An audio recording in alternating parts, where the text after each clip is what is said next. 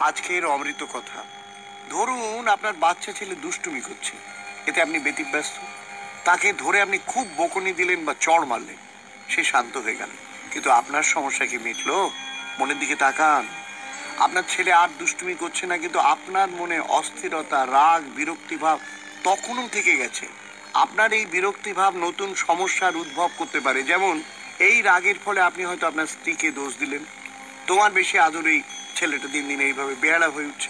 ব্যাস, শুরু হয়ে গেল স্ত্রীর সঙ্গে কথা কাটাকাটি। ছিল এক সমস্যা, এসে গেল আরেক সমস্যা। আপনি মনে করেন যে বাইরের পরিস্থিতি আপনাকে রাগিয়ে দিচ্ছে? সত্যি কি তাই? শুনছেন মিথ্যে কালী কথা